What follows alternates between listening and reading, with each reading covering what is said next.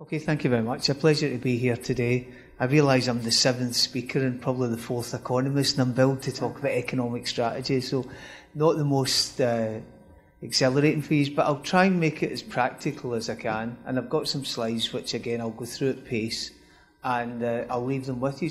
I suppose what I'm going to try and do is bring the threads of it together in terms of the economic, social, and environmental, and give you an update in the thinking within government around. Charlie mentioned the wellbeing economy and how you try and develop a framework that allows you to build in, build in the tensions and manage the transitions, because really we're in a period now that's all going to be about transitions, whether it's climate change, whether it's changes to uh, artificial intelligence, changes in the labour market, uh, we're in a transition post-Brexit as well with different trade deals. So it's all about kind of managing the transition, transitions.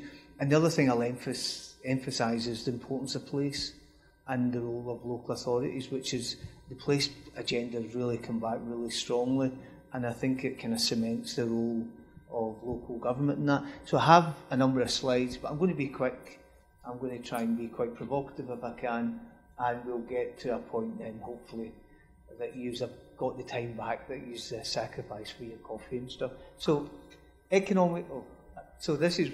So I'll say something about this group as well called the Wellbeing Economy Governments uh, at the end, and that's all I need to say about that. Okay. So the, the kind of backdrop to this, the evolve, evolving economic strategy in Scotland. So we started, the updated strategy was published in March 2015, and it kind of brought in the social dimension much stronger.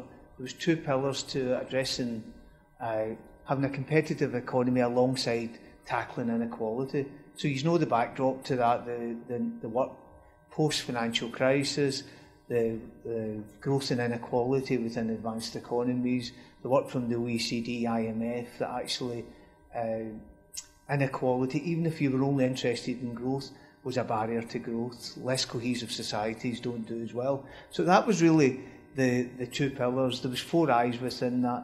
The fourth one was inclusive growth. And I'll say a little bit more about that because when we published the strategy, we weren't in no way experts in inclusive growth. We'd lifted a lot of the work from the OECD and actually we tried to operationalise it since 2015 and along, along with the other three eyes, which I won't run through. And the next pillar, I'll say a little bit about that as we go on the inclusive growth agenda. And then you've got the national performance framework which is in, in a sense is our kind of whole of whole of Scotland approach to this. And then this is what this is where I want to end up in the well-being economies. What does well-being mean? And is that a better framing for this. So my proposition is that essentially well-being, thinking about uh, societal well-being, how people are treated, how they live, homelessness, child poverty, alongside economic well-being. Do we have a competitive economy that provides well-paid, quality jobs that can provide taxes to invest in public services? along with environmental well-being, which is broader than just carbon. It's about ecosystems, the air quality, the water systems. And in one sense, well-being, I think, is a terminology, a framing, which allows the three of those to come together. But I'll say a little bit more about that, and you can challenge me on that at the end. So, very quickly on the NPF, the National Performance Framework, I think, so this is the 11 outcomes. Again, I won't say much about this, but if you think of what Charlie said about uh, circular, systems, all of these 11 outcomes are interdependent. You know that day in, day out through the work you do at local authority level. And the quote that's there, I use quite a lot because, in one sense, coming from the economic part of the government, we're trying to emphasise that growth is just that growth is not a means to an end. Growth is only important in the sense that it enhances people's uh, quality of life, provides opportunities to participate, doesn't de- degrade the environment. So this is the type of uh, framing you could call it the, the donut framing or whatever, but it's it's it's kind of growth growth for a means rather than anything else. And again, I won't I won't the, the slides will be there if you want to have a look at this. I think in the last one, the poll, which I'm sorry I missed, was about uh, inclusive growth. And sometimes we introduce a new term, uh, people unpick the term and say, I don't like the growth part, we can't have growth it has to be more inclusive, it has to be this or that. And we, one of my frustrations with this initially was, I think we spent about a year, a year and a half debating what inclusive growth meant. I think a lot of people knew what it meant, but we, we got hung up on the terminology. There was even committee reports that came out of Economy Committee a year and a half ago where people going and saying, oh, we don't understand what it means, rather than saying, rather than saying what it should have been about. So for me, the inclusive growth approach is really, it's different. It's looking at the economic and social together. And when adding the well-being, that brings much stronger the environmental. It's looking at removing constraints and allowing people to participate more fully in the economy. The, the, this other quote I put in is the well-being economy quote. It's, I'll come back to that as well. It's an OECD report, uh, and it, it kind of again it's stronger, even stronger than the, the words from the first minister about. Um, it's not just about growth first and then tidy up later. It's about a different model of growth. And again, as Charlie mentioned, etc. it's it's about rethinking and reimagining what we're what we're doing here. So if I can kind of jump back at an inclusive growth space, most of the people in economic development will be familiar with the work that was developed around trying to think about how you operationalise this at the national and local level. It's had most of its success in economic development at the local level, and this was the 5P framework that was developed as part of the North Ayrshire pilot, and subsequently it's, within the uh, UK, all of this is online on the SCRIG website or on the Scottish Centre for Regional Inclusive Growth. But it, it, it essentially, it, it links into Charlie's point. So inclusive growth, to me, is how we improve, how we feed into the outcomes, and also the wider kind of well-being agenda. It's not a means to an end. It's an approach. And what's really interesting about the inclusive growth approach that challenges the the economic and the social really strongly. And what we've seen from a lot of the the work when you do this, if you when you do this correctly, in a sense, it challenges where you would traditionally spend money, and it makes you think much more holistically and across the piece. But again, people will be familiar with that, so I won't I won't label that. Now, the, the final kind of bit in this is so we developed an approach, uh, six stage uh, diagnostic which essentially tries to take you through the different uh, different stages of this for for uh, place-based economic development, starting with the data, what are the constraints, uh, what do people on the ground understand? So the, the data might seem really obvious, but actually people's perceptions of what's holding back an area uh, could be quite different, and sometimes you need to challenge that and allow people to participate. Obviously, one of the things I should have said in the last slide, the point about the 5P framework and linking it in outcomes is so there's a consistency that links local, regional, and national, and we can kind of see that feed through through the outcomes. Obviously, you would prioritise and operationalise, and we've seen that already from the various local authorities and also the city region deals that are starting to look at this much more broadly. So that's just one tool. There's other tools and I'll say, I'll say just a, I've got a couple more things to say. So on inclusive growth, inclusive growth to me is really a place-based agenda. It works really much better at the local level. When we looked at it originally, we looked at doing top-down national. We benchmarked Scotland against other countries and we looked at the constraints. But the variation between local authority areas in Scotland in terms of the constraints, opportunities, challenges as such that there's a real opportunity to kind of do it do it bottom up. It provides different lenses so you can look at local, regional, rural, you can look at uh, vulnerable groups. And crucially, businesses are really important within this as well. There's a real role for business within, within areas. And it's a whole system approach. That's the thing, again, it's got to be whole system and it's got to involve the, the key players. So, again, there's a lot more about that. If you don't get hung up in the definition and think about uh, practically what are the constraints. Some of the constraints in areas can be things that we wouldn't traditionally, well, can be housing, it can be transport, but often it's a combination of them all in terms of uh, bringing opportunities to areas. So, because I've, I spoke about well-being, I thought, how do we deliver a well-being economy? And in one sense, some of the work that we're doing now is we're looking at, uh, so there's a, a community wealth building pilot in North Ayrshire. it's an interesting approach, which in a sense is a, it looks at the kind of assets within an area, the role of procurement, and different ways of thinking about how you how you build uh, more resilience into your local areas. To me, that's it's a kind of it's a subset of a wider inclusive growth approach. We're looking at piloting the inclusive growth work to develop the additional well-being elements, and for that, that's really about the environmental, the place-based dimensions, having them much more stronger. Uh, again, it's about whole system approach, and it's a, about thinking about how we how we complicate that. So, so in a sense, there's a there's a lot in this. We're talking about transitions, uh, circular. We're talking about uh, trying to achieve multiple outcomes at different times. So how do we do all of that when you're kind of you're an individual within an organisation? You may be tasked with one particular role, and this is the challenge I think for all levels of government. We need to kind of build frameworks of a better understanding of what the, how these dimensions interact and how you can how you can have a healthy tension between them and actually understand the kind of trade-offs because otherwise we will we will keep getting the repeated kind of thinking oh it's a social issue it's over there. It's an economic economic issue over there. Or the environment that's that's for a different part of the government. We've got to try and bring and change that that type of uh, thinking.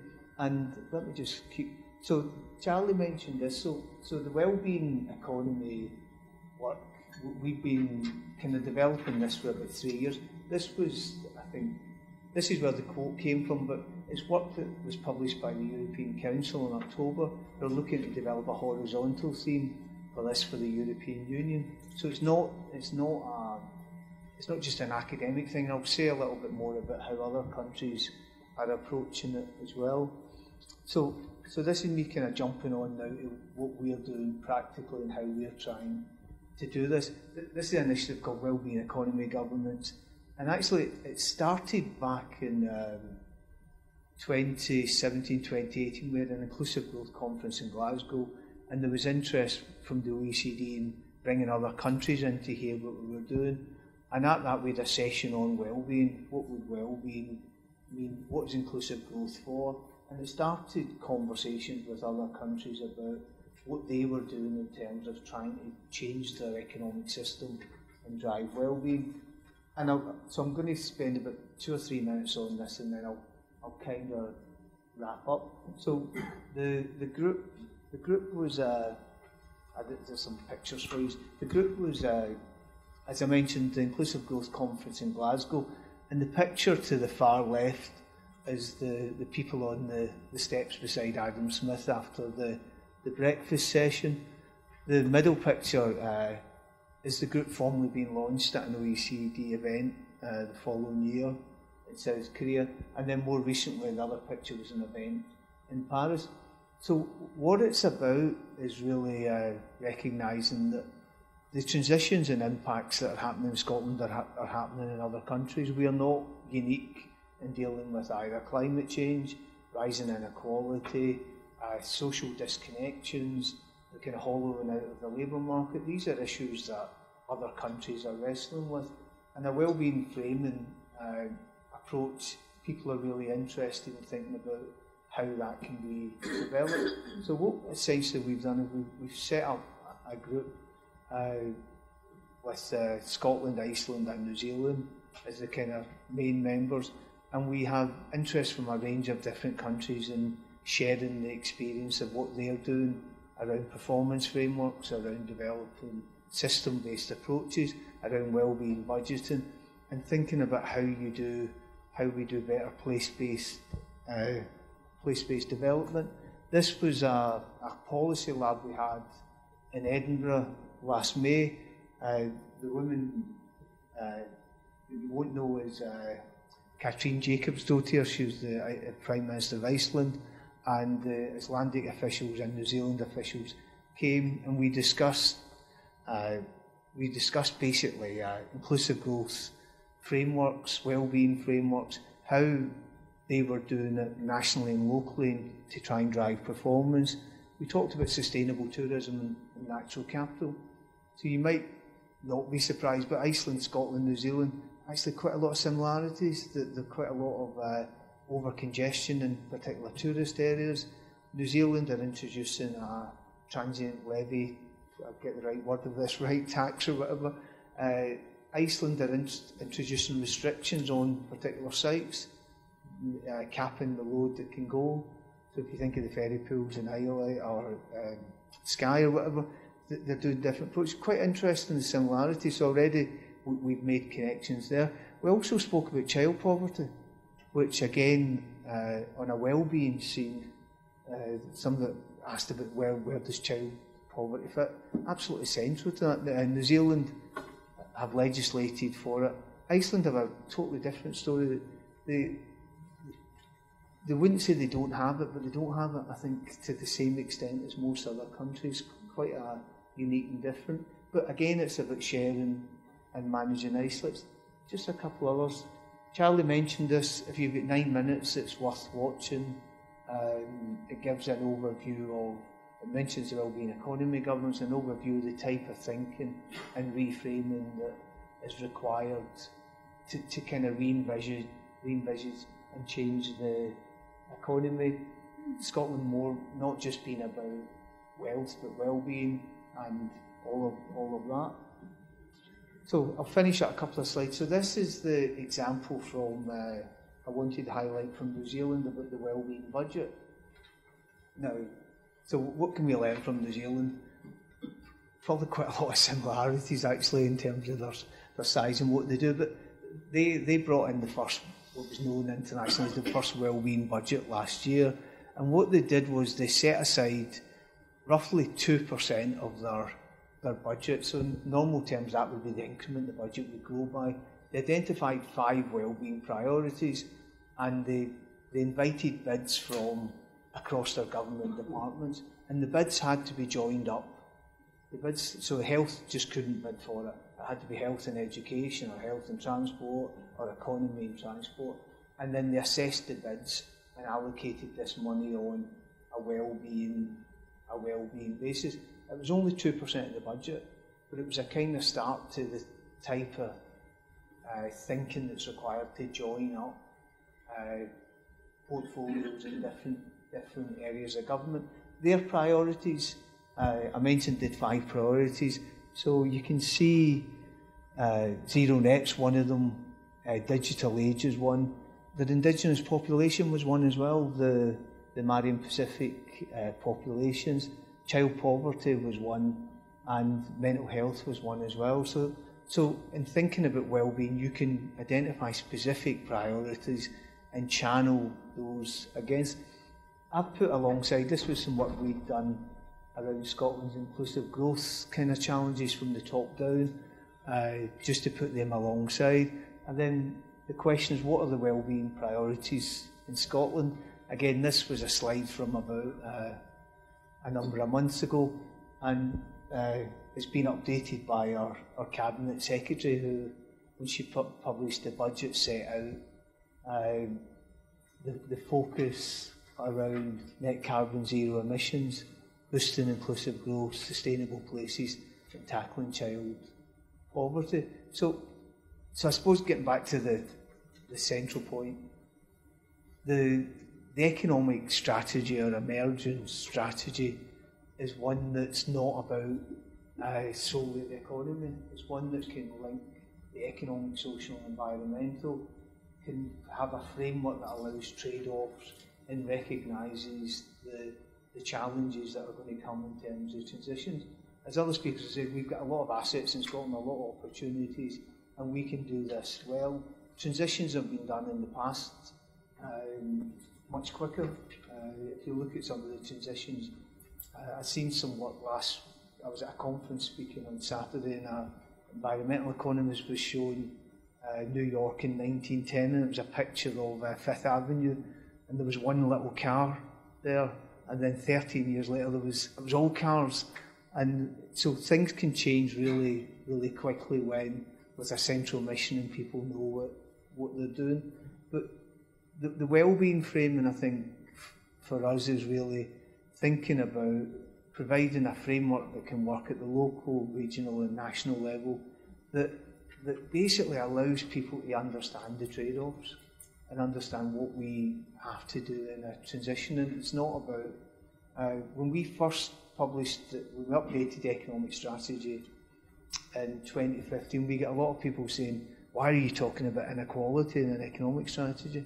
There was a little bit of pushback from the business organisations and others saying, this really should be strictly about productivity growth. You know, our growth rate's not been as good as it should have been. But actually now that whole, that understanding has changed now, and people within the business community really get the, the notion of their role and the community their role in providing well. So we've got to kind of broaden that now further to think about their contribution to solving the challenges we've got around the environment as well and how we manage this uh, this transition. And all of that local government is absolutely central. The number of things you can do locally, the number of different uh, variations in policies and practices can then be shared elsewhere and scaled up. So really, really important. But anyway, I've, I've tried to keep to time, so I will stop and uh, thanks very much. No, that's great, Gary. Thank you.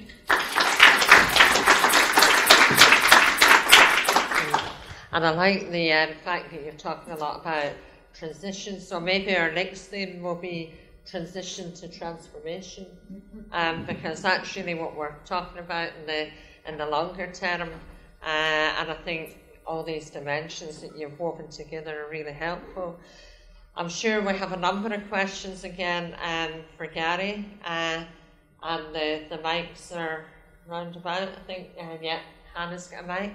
Um, you just want to make yourself known if you have a question. Katrina first. Hi, uh, Katrina Macaulay, North Ayrshire Council. Um, thanks, Gary, for that presentation. I've noticed today and in your presentation there hasn't been a lot said about regional inequality. It clearly featured a lot in the budget this week at a UK level. It seems to be, um, you know, very much influencing national policy, but just interested that it's not really been reflected in a lot of what's been said in, in, in, in what uh, you've presented today. Uh, and also when you talk about sort of the bottom-up approach, you know, as you know, in North Ayrshire, we are doing a lot, and the council is investing huge amounts in economic development, proportion to the size of its council and its budgets. I suppose our ask is always, what's national government going to do for areas like North Ayrshire? Uh, th- thanks very much. So, I never touched on regional inequalities in this because, in a sense, that was really one of the bases of the, the, the starting strategy about why we were moving to a much more place-based emphasis. I think the UK agenda around levelling up, in the sense we've been calling that out now for a number of years about the challenges of having such an unequal distribution of wealth and opportunity across the UK and the kind of dominance of, of London. So the, the, the, the levelling up agenda, it'll be interesting to see what the, the ch- potential changes to the Green Book. We would argue that an inclusive growth framework gives you a different way to prioritise and make decisions about investment anyway. And the, the Green Book's only one one element of it. So the the the kind of levelling up, the regional dimension is still really strong in Scotland, really strong in our thinking. It's not a dilution of that, it's kind of bringing that environmental side into that as well. So I think in terms of the, the government response, thinking about regional partnerships, the city region deals, how we can build on the capacity across Scotland and and actually linking it to national policy through the performance framework or outcomes in a way that makes it people can see the kind of traction of policies. So, so uh, not today. I haven't touched on that, but when I, when we launched the strategy, I think in North Ayrshire, and we we in probably March 2015, we came down to a conference it was all about regional inequalities then, but that, that agenda's still there, and actually the work that North Ayrshire and others are doing is, is really powerful in illustrating actually you have a lot of the levers to drive change, and actually once you start and bring partners in, then you can create the frameworks to kind of do things that national government can't do. Okay, thanks, Gary. Um, any other questions? Observations, comments, and you'll get to that point in two. Seven speaker. So, what, what are the proposals on the Green Book? So, the, in a sense, to move away from the kind of narrow market failure uh, definitions around what would traditionally justify government intervention. So you read the Green Book very carefully. The, there was a presumption against regional investment and levelling up. It was that for a financial return, it had to benefit the national economy. So in one sense, it was completely moved away from what would traditionally have been a kind of regional policy approach. So they're now changing that because if you take the wider benefits of having uh, levelling up on the different costs, then it, it's it's a kind of no-brainer. I think that was uh, an interesting uh, dimension. Can we thank Gary again because I know he's a busy man.